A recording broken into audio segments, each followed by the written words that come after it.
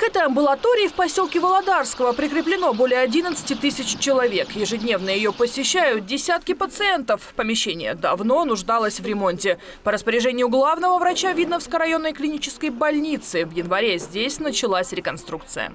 Согласно проекту Московской области, наша поликлиника, все медицинские учреждения по Московской области должны быть приведены к единому стандарту. Это включает в себя э, навигацию, устранение неполадок в амбулатории, приведение всех поликлиник к стандарту медицинских организаций для создания комфортных условий для приема пациентов и работы врачей. На сегодняшний день работы выполнены на 70%. Заменено напольное покрытие. В зависимости от типа помещения положили плитку или линолеум. Покрашены стены, отремонтирован потолок. Закуплена новая мебель. Теперь вся амбулатория будет в единой бело-синей гамме. Все чисто, аккуратно, ново.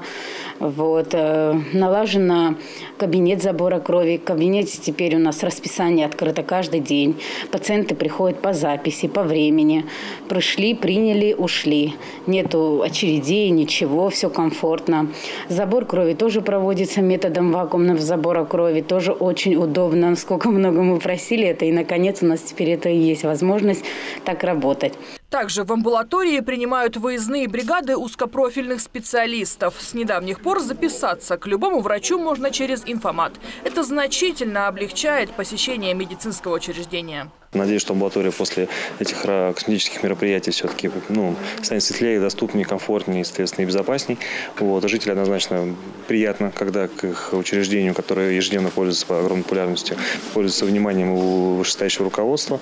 Так что уверен, что эти работы в любом случае благоприятно скажутся на нашем населении.